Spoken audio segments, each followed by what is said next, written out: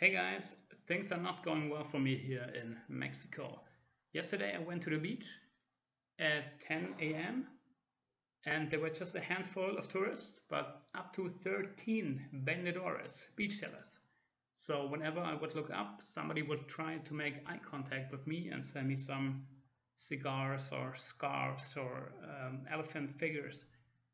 So this was kind of an awkward and stressful experience and I went back pretty quickly, but not quickly enough to avoid the first sunburn of the year, which sucks. Today I missed my Amazon delivery. I was waiting for two new SD cards to deliver even more footage to you guys. But then the Amazon delivery guys could not reach me because I have not put my new prepaid SIM card, which I now proudly own, into my new smartphone, which I do not yet own.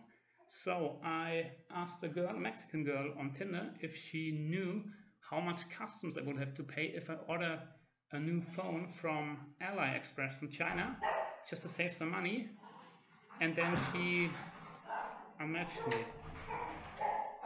Oh, I think there's an illegal dog fight going on outside. I have to protest this.